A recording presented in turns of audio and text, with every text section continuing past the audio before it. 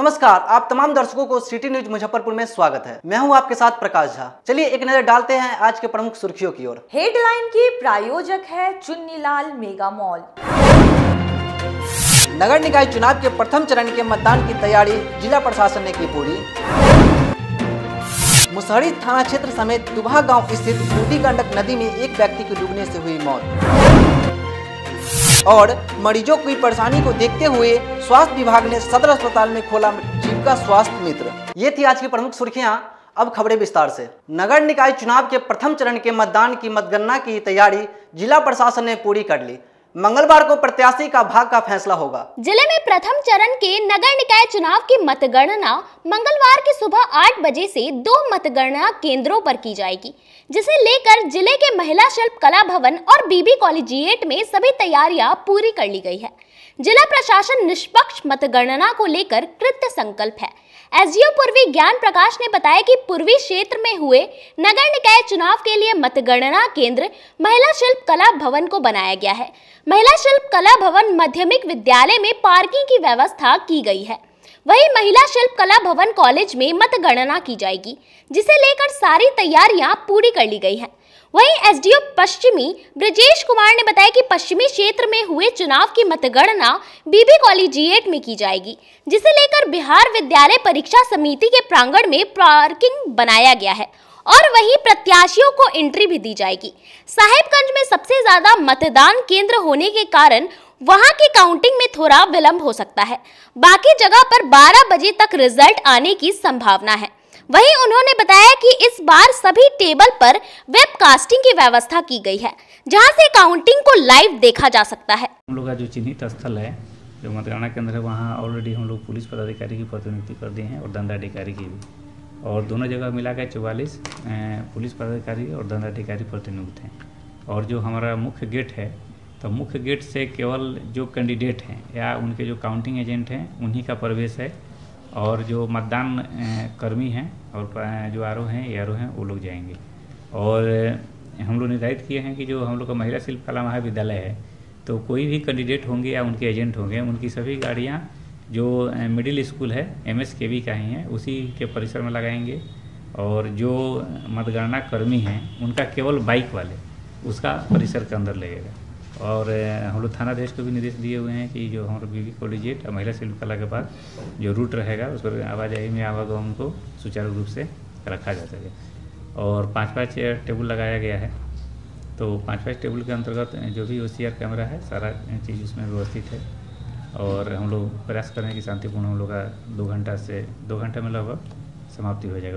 जो अठारह दिसंबर को जो प्रथम चरण का मतदान हुआ था, उसका मतगणना का कार्य दो जगहों पे, बीबी कॉलेजिएट और महिला शिल्प कला महाविद्यालय में संपन्न किया जाएगा। विदित है कि तुर्की कुडनी, सरैया का महिला शिल्प कला महाविद्यालय में और साहेबगंज, बरूराज के मतगणना का कार्य बीबी कॉलेजिएट मुजफ्फरपुर में होगा। सारी तैयारियाँ पूरी कर ली गई है। पाँच पाँच टेबल लगेंगे। और उम्मीद है कि दो से तीन घंटे में हम लोग सभी परिणाम प्रकाशित कर देंगे। विधि व्यवस्था की सारी तैयारियाँ पूर्ण हो चुकी है। जैसा कि अनुमंडल पदाधिकारी पूर्वी ने बताया आपको कि रूट जो है जो आएँगे लोग मतगणना में जो एजेंट लोग आएँगे उनकी गाड़ियाँ कहाँ कहाँ लगेगी ये सबसे पहले बता दिया गया है और रूट चार्ट भी पहले से प्रकाशित कर दिया गया है। बीबी कॉलेजिएट में भी वहाँ पर स्थल निर्धारित किया गया है जो आपका बिहार विद्यालय परीक्षा समिति का जो देखे होंगे, जो प्रवेश द्वार है, वहाँ से ही उस साइड से लेकर के उसकी एंट्री होगी और पूरा मैदान खाली है, आप देखे ही होंगे। और थोड़ा सा समय यहाँ लग सकता है। साहेबगंज नगर परिषद का, क्योंकि वहाँ पर कुल 45 मतदान केंद्र हैं, जो कि 10 चरणों में उनका प्रकाशन हो जाएगा। हमको उम्मीद है कि वो भी तीन से चार घंटे में वहाँ का भी परिणाम आप सबके सामने होगा। किसी प्रकार की कोई समस्या नहीं है। मतदान मतदान जो हुआ है, उसकी मतगणना का कार्य सुबह आठ बजे से प्रारंभ हो गया और बारह बजे तक हमको उम्मीद है कि सारे परिणाम आ जाएँगे। किसी प्रकार की भी समस्या से सुलझ वहाँ पर सुलझ सुलझाने के लिए विधि व्यवस्था हेतु दंडाधिकारियों की प्रतिनियुक्ति कर दी गई है। सब लोगों को ससमय अपने कार्य स्थल पर उपस्थित हो जाना है। जो जो मतगणना का कार्य जो कर्मी करेंगे, उनको पर्याप्त ट्रेनिंग दी- दे दी गई है। वो सी आर की पर्याप्त व्यवस्था है। उसका जो कमीशन के द्वारा वेबकास्टिंग होता है, वो भी रहेगा। तो कुल मिला जुला करके संपूर्ण तैयारी हो चुकी है कल के मतगणना। मुसहरी थाना क्षेत्र के दुभा गाँव स्थित बूढ़ी गंडक नदी में मछली पकड़ने गए एक व्यक्ति डूबने से मौत हो गई। मुजफ्फरपुर में 31 वर्षीय व्यक्ति की बूढ़ी गंडक नदी में डूबने से मौत हो गई। मामला ज़िले के मुशहरी थाना क्षेत्र के दुबहा गाँव की है। मृतक दुबहा गाँव निवासी किसान सुनील सहनी थे।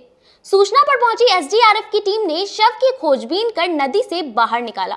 वहीं लोगों ने मामले की जानकारी मुशहरी थाने की पुलिस को दी। सूचना पर पहुँची मुशहरी थाने की पुलिस ने घटनास्थल की जाँच की।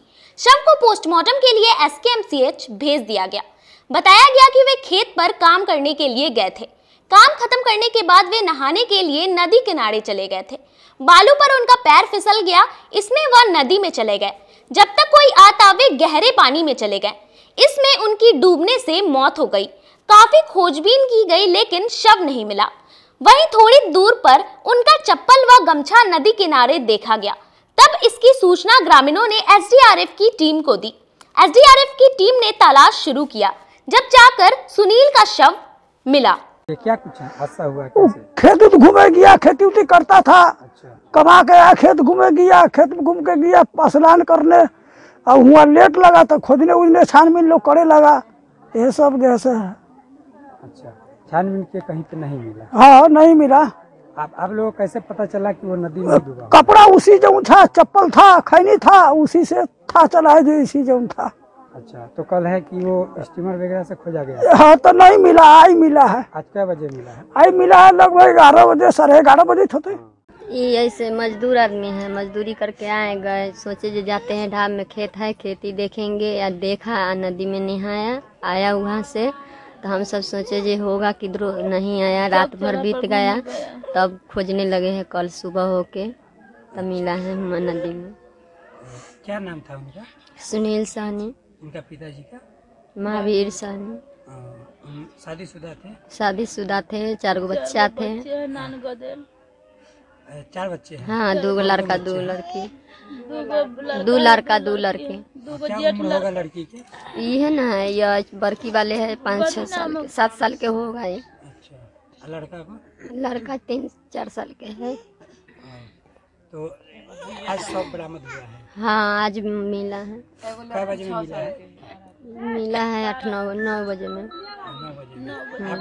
उस दिन देख के गए थे ढाब खेती उती करने के खेत देखने को नहीं गए थे पूछे कहाँ जा रहे हैं भैया तो बोला हम खेत घूमने जा रहे हैं। कोई घूमने उन्हें गया हुआ उन्हीं पर नहाया क्या हुआ? उनको तो गए सुबह पर के देखे कपड़ा हुआ। है कपड़ा देखे तो उनका अथी है सब बात हुआ तो फिर हमसे खोज बिटोर में लागे उनको। खोज उज के लाए हुए तो आज निकला। कल नहीं मिला। था। क्या नाम था उनका? सुनील सानी। कितना उम्र है? उनको होगा सत्ताईस साल होगा। अच्छा शादीशुदा हाँ शादीशुदा है। बच्चे हैं? चार लड़, दो लड़की है दो लड़का है। हाँ कौन सा जगह हुआ? रजवाड़ा पंचायत है। ग्राम? धूमा तो क्या प्रशासन लोग सब आए हैं? हाँ प्रशासन लोग आया है सब आया है एस्टीमेट आया था सब आया था। तिलक मैदान डिज्नीलैंड मेला में लोगों ने अपने परिवार के साथ एंजॉय करते नज़र आए क्रिसमस और नए साल के मौके पर शहर के बीचों बीच तिलक मैदान में नए अंदाज और आकर्षक झूलों के साथ डिज्नीलैंड मेला धूम मचा रहा है। यहाँ पूरे परिवार के साथ कंप्लीट एंजॉय पैकेज है। बच्चे हो या जवान, महिला और पुरुष, सभी लोग झूलों का मज़ा उठा रहे हैं। इसके अलावा यहाँ खाने पीने की भी एक से बढ़कर एक स्टॉल लगी हुई है। साथ ही खरीदारी के लिए भी एक से बढ़कर एक स्टॉल लगी हुई है जहाँ खरीदारी के लिए लोगों की भीड़ लगी रहती है। महिला ने बताया कि इस मेले में आकर पूरे परिवार के साथ काफ़ी एंजॉय किए हैं। मेला में आइए कैसा लगा? बहुत ही अच्छा लगा है। बहुत बहुत ही ज़्यादा मज़ा आ रहा है। बच्चे ज़्यादा इंटरटेनमेंट कर रहे हैं।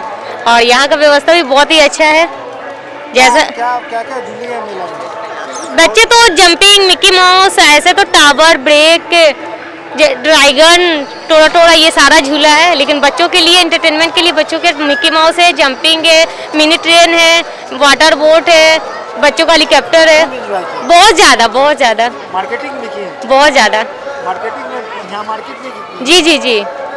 उलन उलन कपड़े का है स्टॉल लगा हुआ है बच्चों का खिलौने का है टॉयज है फास्ट फ़ूड है बस यही और सब। हाँ एंजॉय किया जा रहा है। वहीं डिज्नीलैंड के मेला प्रबंधक ने कहा कि इस वर्ष लोगों के मनोरंजन को देखते हुए नए अंदाज में डिज्नीलैंड मेला लगाई गई है। विगत दो सालों से तिलक मैदान, मोतीझील, मुजफ्फरपुर में डिजलैंड मेला संघ हस्तशिल्प कश्मीरी मेला का मेला का आयोजन करता हूँ। बस इस साल कुछ आकर्षण विशेष है इस मेले में।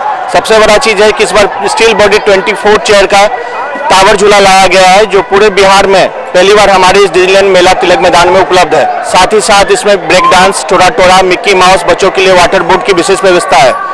इस साल हमारे सर्दियों में कश्मीर से आए हुए कोट मिलेंगे आपको, जो साल में एक ही बार कश्मीर से आते हैं विशेषकर। विशेष आकर्षण है ये हमारे मेले का। साथ ही साथ बच्चों के लिए खिलौनों के स्टॉल मिलेंगे, बमैया फ़ैशन है।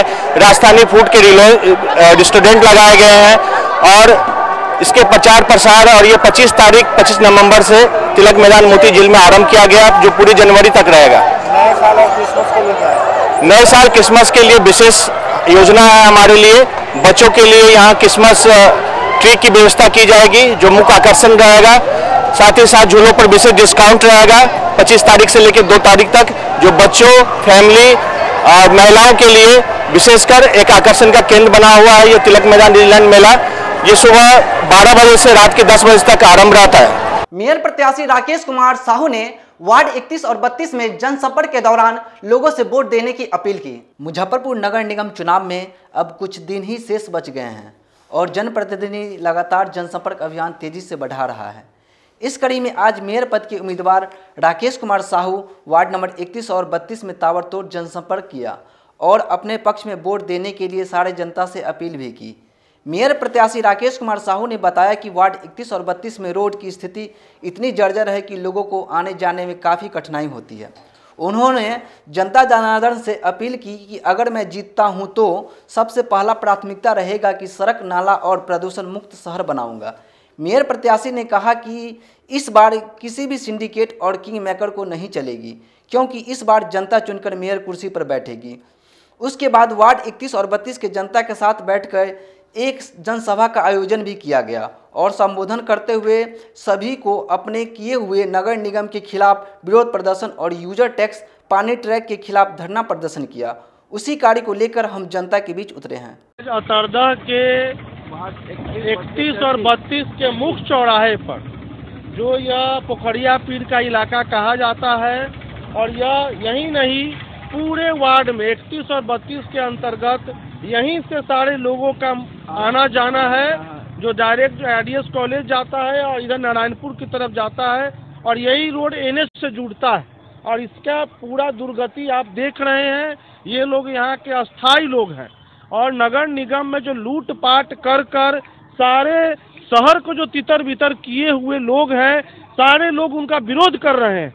और बता रहे हैं इस बार जो सिंडिकेट व्यवस्था जो यहाँ चल रहा है, उसके खिलाफ हम लोग खड़े हो गए हैं और सारे लोग पुरजोर समर्थन दे रहे हैं और बता रहे हैं कि जैसे ही हम इधर से आपको पूरा समर्थन देकर जिताएँगे और जीतने के साथ ही इस काम को आपको करके देंगे, हम लोग इनको आश्वासन दे रहे हैं कि हम यहाँ के अस्थायी निवासी हैं, पूरा इधर से जन समर्थन मिल रहा है और सब लोग साथ खड़े हो रहे हैं।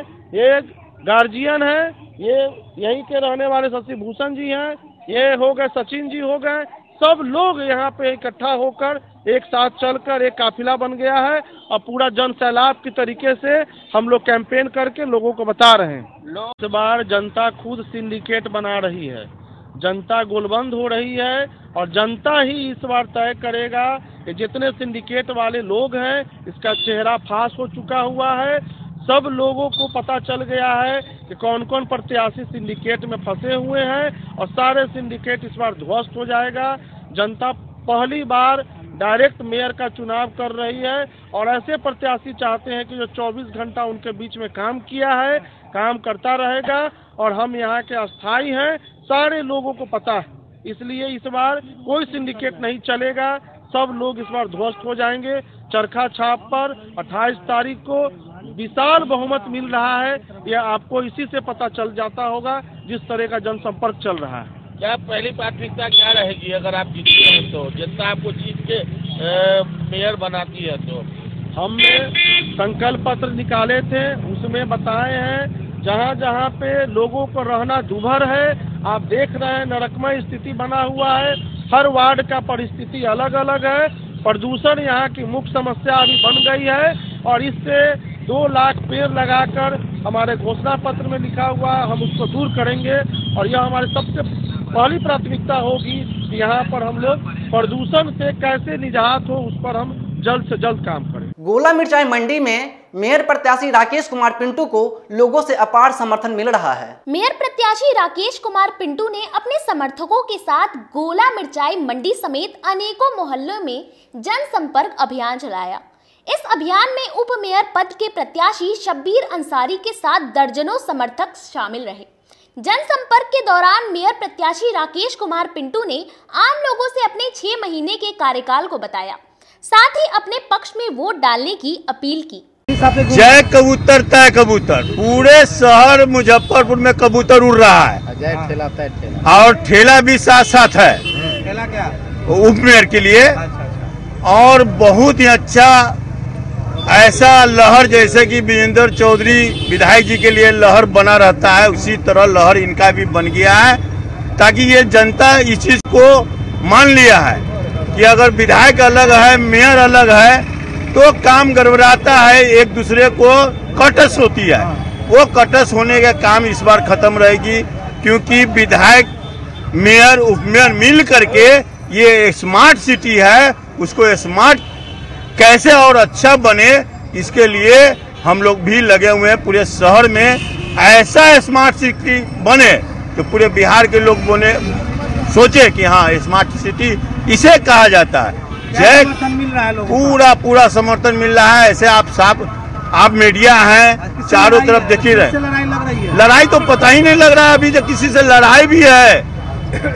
पिंटू जी के किसी से लड़ाई भी है ऐसा लग भी नहीं रहा है। वार्ड 18 के इमामगंज मोहल्ले में जनसंपर्क अभियान के दौरान मेयर प्रत्याशी शहनवाज इकबाल को लोगों का समर्थन मिल रहा है। मेयर प्रत्याशी शहनवाज इकबाल ने अपने समर्थकों के साथ वार्ड 18 इमामगंज स्थित सलम बस्ती में ताबड़तोड़ जनसंपर्क अभियान चलाया। जनसंपर्क के दौरान लोगों ने शाहिद इकबाल मुन्ना एवं उसके छोटे भाई मेयर प्रत्याशी शहनवाज इकबाल का लोगों ने स्वागत किया। अपने समर्थकों में लोगों से यह अपील की कि उन्हें वोट देकर जीत दाखिल करें। उन्होंने लोगों से वादा किया कि शहर के विकास के लिए वे सभी कार्य करेंगे। आज हम लोग वार्ड नंबर चार में गड्ढा गली और जो भी इलाका है अंदर में, ये काफ़ी अंदर का बस्ती एरिया है। यहाँ घूम घूम कर हम जनता मालिकों से अपील कर रहे हैं। कि आप मुझे वोट दीजिए मारुति भान छाप पर जो हमारा क्रम संख्या तेरह पर है। और सभी लोगों का अपार स्नेह प्यार और समर्थन मुझे मिल रहा है। और मुझे पूरी उम्मीद है कि मुजफ्फरपुर की जनता वार्ड नंबर चार की जनता पूरे मुजफ्फरपुर की जनता इस बार मुझे जिताने का काम करेगी। ज़रूर। एक नौजवान को जिताने का काम करेगी। मुझे पूरी उम्मीद है कि हर जगह हम जा रहे हैं। अपार समर्थन लोगों का मुझे मिल रहा है। बहुत अच्छा माहौल बन चुका है। लोगों में इस बार है कि बदलाव लाना है मुजफ्फरपुर में। मुजफ्फरपुर में बदलाव लाना है। और नगर निगम को किंग मेकरों से छुटकारा दिलाना। अब समय चला एक छोटे सा ब्रेक का। आप बने रहें और देखते रहें सिटी न्यूज़ मुजफ्फरपुर।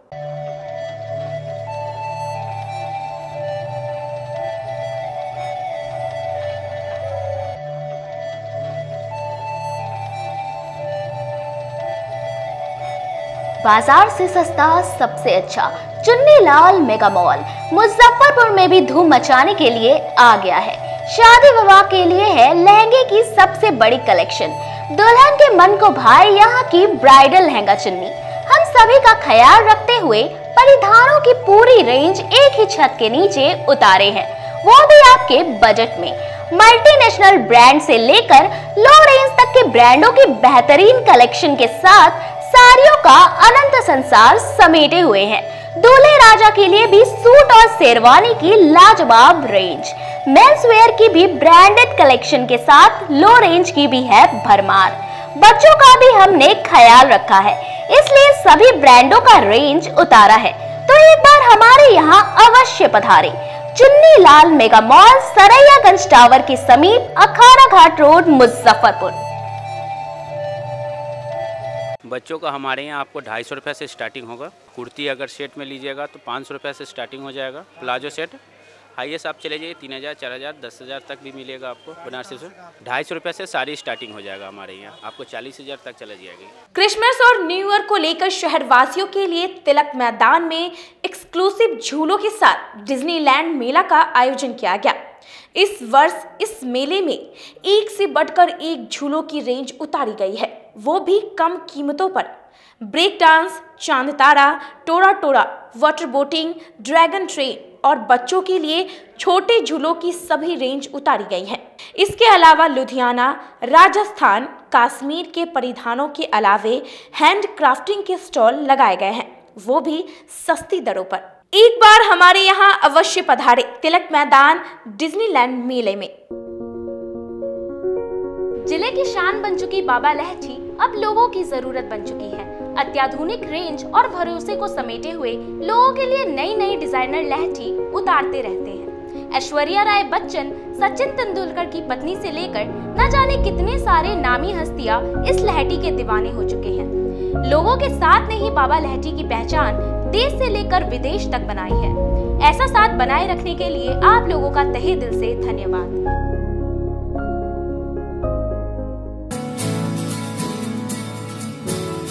कहते हैं कि मंजिल उन्हीं को मिलती है, जिनके सपनों में जान होती है। पंखों से कुछ नहीं होता, हौसलों से उड़ान होती है। तो अगर आप में भी है जज्बा कुछ कर दिखाने का, अगर आपके अंदर भी है एक जीनियस अगर आप भी छूना चाहते हैं, आसमान की ऊंचाइयों को क्रैक करना चाहते हैं IIT JEE AIIMS NEET NTSC KVPY या फिर ओलंपियाड तो आपके हौसलों को उड़ान देने के लिए है जीनियस क्लासेस जी हाँ सही सुना आपने genius classes for I I T JEE AIIMS NEET NTSC KVPY olympiad for eighth ninth tenth eleven twelfth and target अपने बेहतरीन सक्सेस रिकॉर्ड के साथ सफलता की नई ऊंचाइयाँ गढ़ रहा है। जीनियस क्लासेस तो my dear students eighth ninth tenth eleven twelfth and target के लिए नए बैचेस शुरू होने वाले हैं। जीनियस क्लासेस में, जहाँ है separate hostel for boys and girls जल्दी से पता नोट करें। Genius classes study centre Pankaj market Sariyaganj, Muzaffarpur. अधिक जानकारी के लिए कॉल करें seven six three five zero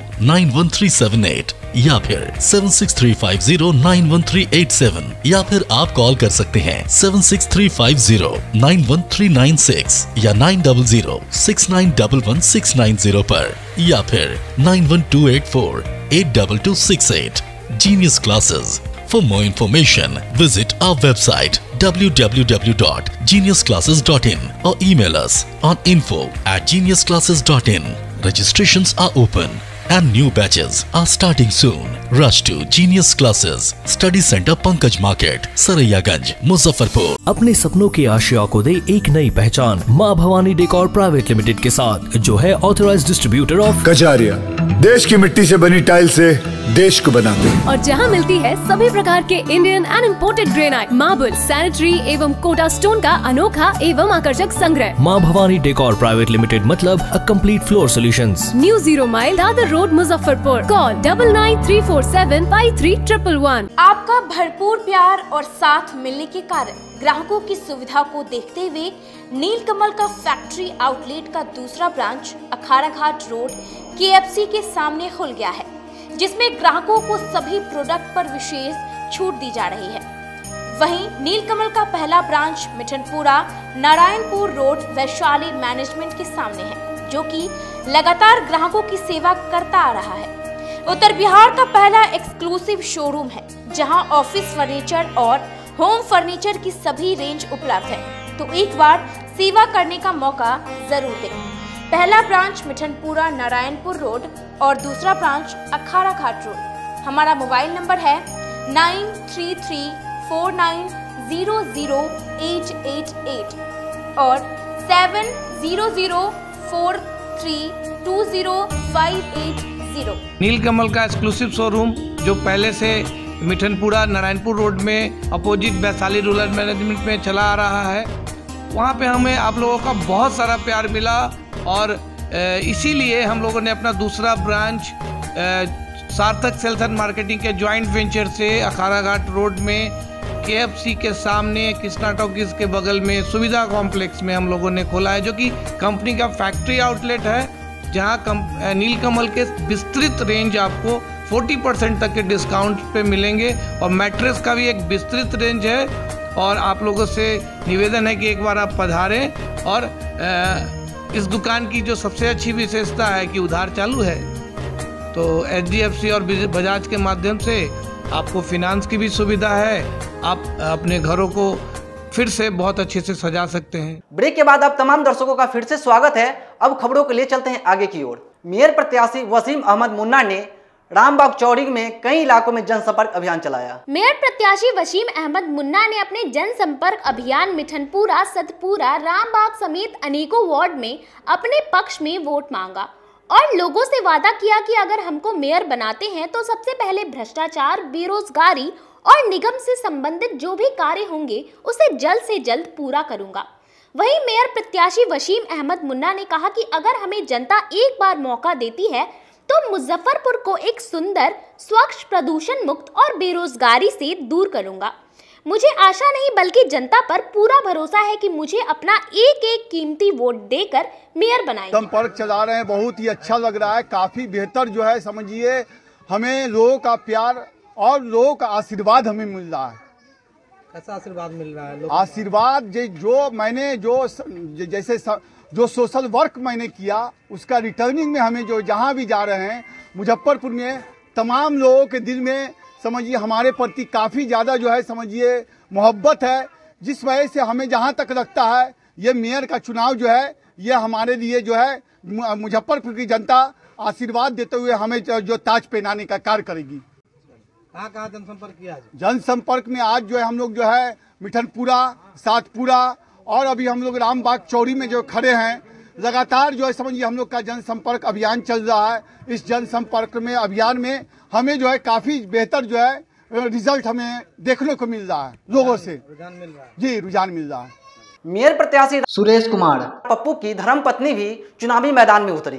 कई मोहल्ले में जनसंपर्क कर अपने पति के लिए वोट मांगी। नगर निकाय के प्रथम चरण चुनाव के बाद दूसरे चरण चुनाव में महज कुछ ही दिन शेष बचे हैं जिसके लेकर प्रत्याशी अपनी जीत सुनिश्चित करने को लेकर चुनाव प्रचार तेज कर दी है। वहीं शहर में मेयर पद के प्रत्याशी पूर्व मेयर सुरेश कुमार के समर्थन में उनकी पत्नी मनीषा देवी दर्जनों समर्थनों के साथ ब्रह्मपुरा के कई मोहल्ले में जनसंपर्क अभियान चलाया। इस दौरान उन्होंने पूर्व मेयर सुरेश कुमार ने शहर के विकास में साढ़े चार साल किए गए कार्यों को बताते हुए जनता से मतदान करने की अपील की। इस दौरान उन्होंने बताया, साढ़े चार साल में शहर के विकास में सुरेश कुमार ने कई महत्वपूर्ण कार्य किए हैं, जिसे जनता जानती है। निगम के राजनीति के कारण उन्हें छः महीने में कार्यकाल से षडयंत्र कर हटा दिया। इस बार जनता को मेयर चुनने का अधिकार है। उन्हें पूर्ण विश्वास है कि जनता उनका साथ देगी। जनता? समझ गए? ये काम अधूरा बच गया है। ये पूरा कर दे। अब जनता गाँव को चाहिए? अब खरीद बिक्री नहीं होगा। ना खरीद बिक्री वाला काम नहीं करे तो अच्छा रहेगा। बढ़िया रहेगा। आपको मौका मिल रहा है हाँ मैं अब बढ़िया काम कर रहे थे। इसको हटा दिया गया है। किस तरह का उम्मीदवार लगेगा इधर ये बढ़िया काम पानी पानी उनी न लगे। रास्ता रोड बन जाए बढ़िया से विकास का काम बढ़िया से हो सबको आदमी को मन लगे अब बदमाशी उदमाशी होता है मोहल्ला वोहल्ला में शांति रहे और कुछ जो। हमारे पति काम किए है उसी मुद्दे को लेकर आई हूँ वोट मांगने। कुछ काम विकास का रह गया है। हाँ और बहुत सी काम विकास का है। जैसे जाम की समस्या है यहाँ पर जो पानी लगता है उसका समस्या है। और और सी बहुत सी समस्या है स्कूल हाँ। जनता मेयर चुनेगी हाँ। कैसा रिस्पांस मिल रहा है जनता का बहुत ही अच्छा रिस्पांस मिल रहा है बहुत अच्छा। और यहाँ पर स्कूल का सुविधा महिला सब के बाहर में शौचालय नहीं है उसका सुविधा ये सब सुविधा कराएँगे। और बहुत से सुविधा है जिसको देना है और बहुत से काम किए हुए हैं वो। और बहुत परेशानी भी किए इनको लोग मानसिक टॉर्चर भी दिए। उसके बावजूद भी इस क्षेत्र में आए और पाँच महीना से अपने मुजफ्फरपुर के जनता मालिक के बीच में है। जी। जी। जीतते तो क्या काम कीजिएगा पहला क्षेत्र में? क्या काम करेंगे? जिन जीतने के बाद जो भी समस्या है जो पहले के काम अधूरा है मेयर साहब का उनको पूरा करेंगे। और शिक्षा और जाम और पानी के जल जलमाव पर बेसी काम करेंगे। क्या रिस्पांस मिल रहा है अभी आप क्षेत्र में? बहुत ही अच्छा रिस्पांस मिल रहा है। पंद्रह उम्मीदवार है क्षेत्र में। हाँ पंद्रह उम्मीदवार है और बहुत से उम्मीदवार का किंग मेकर भी साथ में घूम रहा है उससे हम लोग को कोई फ़र्क नहीं है। क्योंकि हम लोग अपना आप में अच्छे से लड़ाई होगा तभी ना जीतने का मज़ा आएगा। इसलिए लड़ाई उन्हीं के साथ में है। शहर के विकास के साथ फिर एक बार वोट मांगने निकली। है हाँ एकदम शहर के विकास के साथ साथ हर एक मुद्दा को समाधान करते हुए और पहले जो छूटे हुए काम है मेयर साहब के उनको पूरा करेंगे। मरीजों की परेशानी देखते हुए स्वास्थ्य विभाग ने सदर अस्पताल में जीविका स्वास्थ्य सहायता केंद्र की शुरुआत की। उत्तर बिहार की लाइफ लाइन एस और सदर अस्पताल में इलाज कराने आ रहे मरीज़ और अभिभावकों को मे आई हेल्प यू केंद्र से सभी तरह की जानकारी उपलब्ध हो सकेगी। इसलिए मरीज़ और उनके अभिभावकों को विभिन्न रोगों से संबंधित विभाग और डॉक्टर की खोज के लिए इधर उधर नहीं भटकना पड़ेगा। इस सब के बारे में केंद्र पर जानकारी उपलब्ध हो सकेगी। एस और सदर अस्पताल के मुख्य प्राइवेट गेट के ठीक सामने इमरजेंसी कक्ष के पास मे आई हेल्प यू केंद्र की शुरुआत सोमवार को की गई। एसकेएमसीएच में डीएम प्रणव कुमार ने वहीं सदर अस्पताल में civil surgeon doctor Yushi Sharma ने उद्घाटन किया। इस केंद्र पर तीन शिफ्ट में कर्मियों को लगाया गया है, ताकि दिन या रात किसी भी समय आने वाले मरीज़ और उसके अभिभावकों को अस्पताल के विभिन्न विभागों के बारे में जानकारी मिल सके।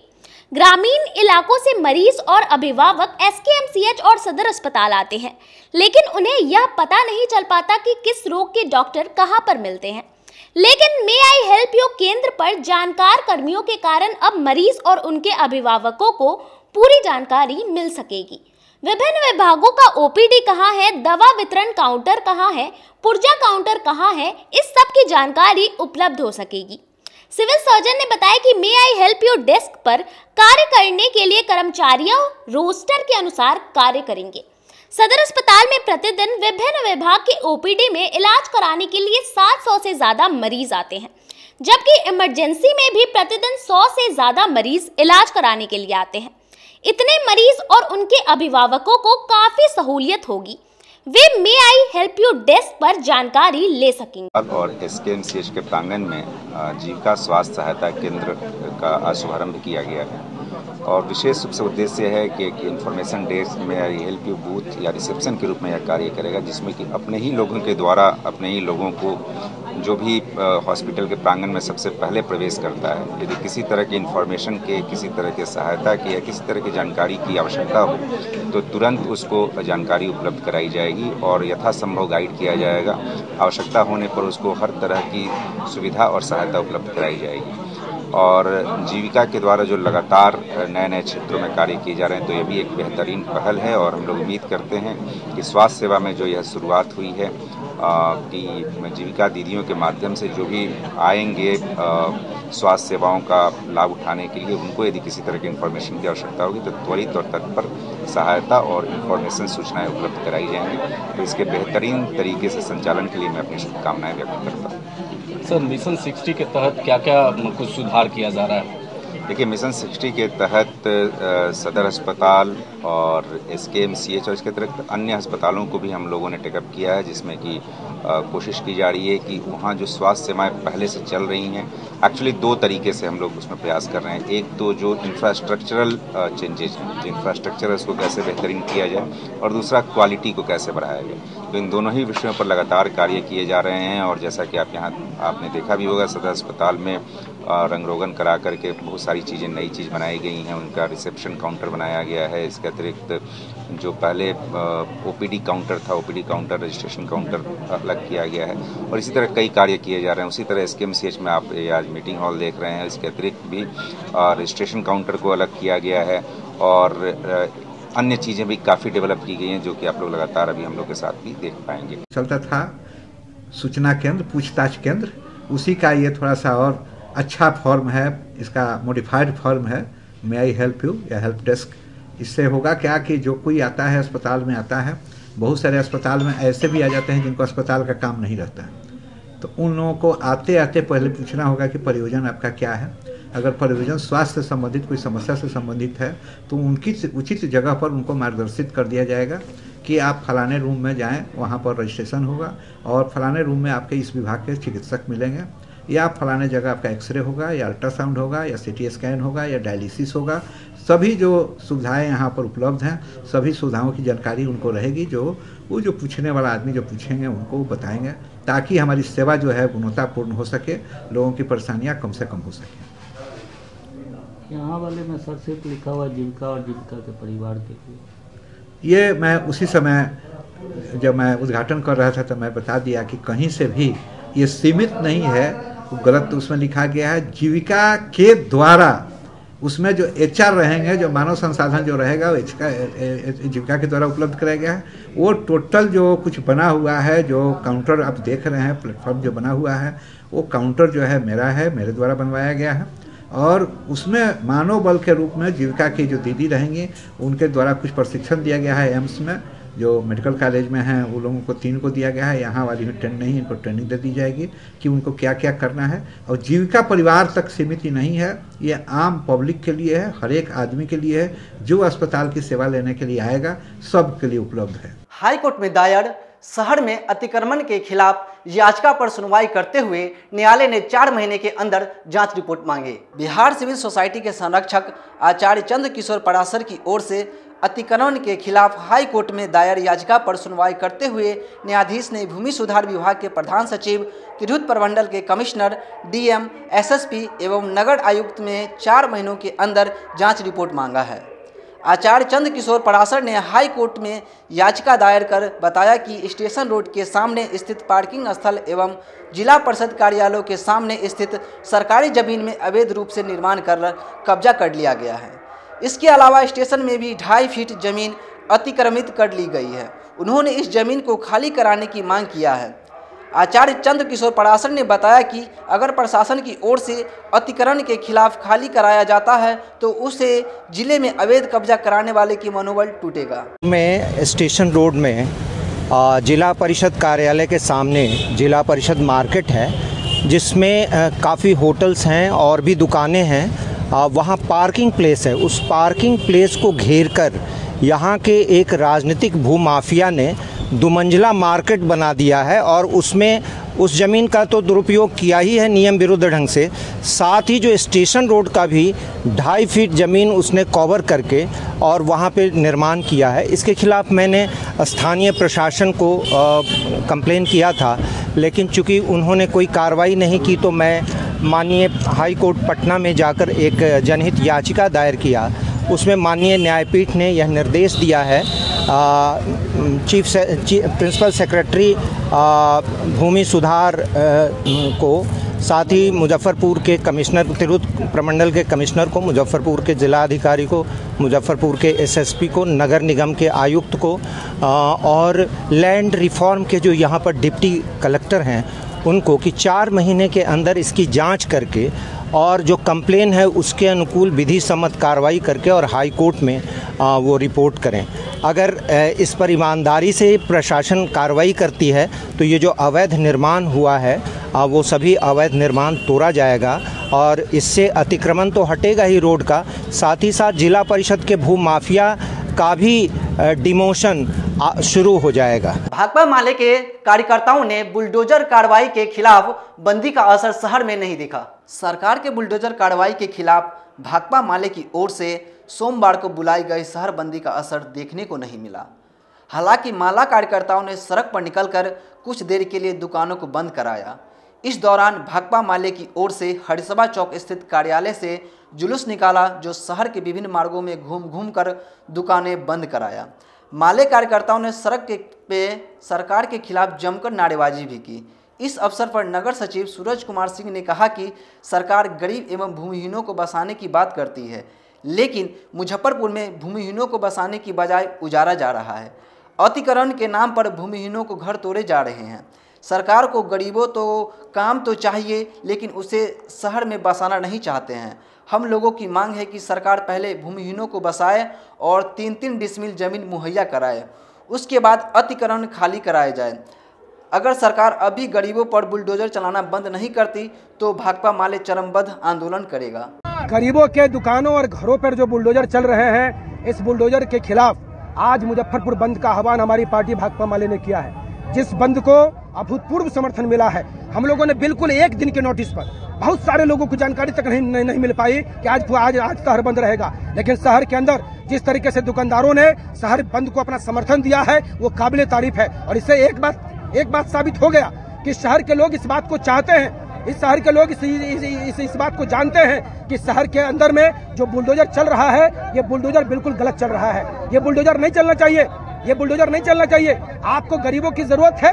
आप गरीबों को शहर में रखेंगे काम करवाने के लिए, लेकिन गरीबों का घर शहर के अंदर में नहीं रहेगा। नीतीश कुमार एक बार नहीं, एक दर्जन बार बोल चुके हैं कि गरीबों को उजारने से पहले गरीबों को तीन डिसमिल ज़मीन देकर बसाया जाएगा। आप बता दीजिए जरा, इस ज़िले में एक भी कोई उदाहरण है क्या? जहाँ पर उजारने से पहले आपने बसाया। आप पहले गरीबों को तीन डिसमिल ज़मीन का पर्चा दीजिए, उनको समझिए कि बसाइए, उसके बाद समझिए कि आपको उजारने की ज़रूरत ही नहीं होगी। आप उनको पर्चा तो दीजिए, आप उनको ज़मीन तो दीजिए, आप उनको ज़मीन दीजिए, लेकिन ये लोग देने वाला बात इनको याद नहीं रहता। लेने वाला बात इनको याद रहता, ज़मीन देना है, ये बात भूल गए लेना है तो बुलडोजर लगा दिए। अरे, ये कैसे चलेगा? इस बार ये काम नहीं चलना नहीं होगा, क्योंकि गरीबों ने इस बार संकल्प ले लिया है कि जब हमारा परिवार रोड पर आ ही जाएगा, जब हम परिवार के समेत रोड पर आ ही जाएँगे तो ठीक है, प्रशासन अपना काम करे, हम हम भी अपना काम करेंगे, इस बार गरीब मरेंगे। और जान जाइए कि जिस दिन जिस दिन गरीब मरने तक पहुँच गए, जान जाइए, जिस दिन गरीबों ने संकल्प ले लिया कि हमको हमको मरना है, उस दिन जान जाइए दुनिया की बड़ी से बड़ी हुकूमत को ये गरीब हिला कर रख देंगे। सीओ के द्वारा कहा गया कानूनी कार्रवाई किया जाएगा बंद करवाने वाले पे आचार संहिता में। अरे कानूनी कार्रवाई करे जेल भेज दे गोली चलवा दे जहाँ डाल दे वो वो समझे काम करे वो समझे उनका समझे ड्यूटी है ठीक है ना? वो उनका काम है लेकिन बंद करने वाले थोड़े रुकेंगे। बंद क्यों हो रहा है बताइए जरा। हमारा आप घर तोड़ दीजिएगा हम समझे विरोध भी नहीं करें। हम जाए आपसे परमिशन लेने के लिए। आप हमको परमिशन देंगे क्या? आप हमको परमिशन देंगे? आप बुलडोजर लगवा रहे हैं और समझिए क्या बंद करने का परमिशन हमको देंगे? हमारा पूरा परिवार सड़क पे आने वाला है और हम तुर्की एनएच पर सीतामढ़ी की एमएलसी की गाड़ी दुर्घटनाग्रस्त हो गई जिसमें एमएलसी समेत तीन लोग घायल। रविवार की शाम तीन गाड़ियाँ आपस में टकरा गई। इस दौरान सीतामढ़ी की एमएलसी रेखा कुमारी की गाड़ी वहाँ से गुजर रही थी। दुर्घटनाग्रस्त गाड़ियों से बचने के लिए उनकी भी गाड़ी सड़क पर पलट गई। उन्हें भी हल्की चोट आई है। साथ ही अन्य गाड़ियों में सवार तीन अन्य लोग भी घायल हो गए। हादसा पटना मुजफ्फरपुर मुख्य मार्ग के तुर्की में हुआ। घटना के बाद मौके पर अफरा तफरी की स्थिति बन गई। मौके पर जुटी भीड़ ने एमएलसी को बाहर निकाला। वहीं लोगों ने मामले की जानकारी तुर्की ओपी पुलिस को दी। घटना की सूचना पर पहुँची तुर्की पुलिस ने घटना स्थल की जाँच की। घायलों को इलाज के लिए अस्पताल भेजा। वहीं दुर्घटना में हुई गाड़ियों को जब्त किया गया। बताया गया कि एमएलसी पटना की ओर से अपनी गाड़ी में आ रही थी। इस दौरान तुर्की के समीप दो गाड़ियाँ आपस में टकरा गई। दुर्घटनाग्रस्त गाड़ियों को बचाने के चक्कर में उनकी गाड़ी सड़क पर ही पलट गई। वहीं पीछे से आ रही एक अन्य गाड़ी भी टकरा गई। घटना के बाद मौके पर अफरा तफरी की स्थिति बन गई। बताया जा रहा है कि घटना में चार गाड़ियाँ क्षतिग्रस्त हो गई। एक गाड़ी बुरी तरह से क्षतिग्रस्त हो गई है। वहीं मौके पर सड़क जाम हो गया। हुई कि सीतामढ़ी से लगभग दो बजे के आसपास मैडम निकली हैं कल संविधान सभा से चलना था। क्षेत्र से लौट रही थी। उसी बीच में तुर्की के आसपास डिवाइडर क्रॉस करके इनोवा गाड़ी मार दी है इस गाड़ी अच्छा इसमें चोट लगी है? हाँ सभी लोग कोई हताहत नहीं है लेकिन चोट थोड़ी बहुत आई है। बेटी को भी गंभीर चोट बताई जा रही हाँ? है मेरी बेटी को भी चोट लगा वो भी जा रही थी मम्मी के साथ उसको भी चोट लगी। चोट लगी है। फ़िलहाल कहाँ है वो? सब लोग यहाँ से जो प्राइमरी ट्रीटमेंट है वो करा करके फिर लोग पटना के लिए रवाना हुई हैं। फिर पटना देखेंगे जाके यदि ज़रूरत पड़ेगी तो हम लोग फिर आगे अस्पताल में दिखाएँगे। खबरों का सिलसिला हुआ यहीं समाप्त। हमें और हमारी टीम को दीजिए इजाज़त। फिर मिलते हैं शहर के तमाम खबरों के साथ।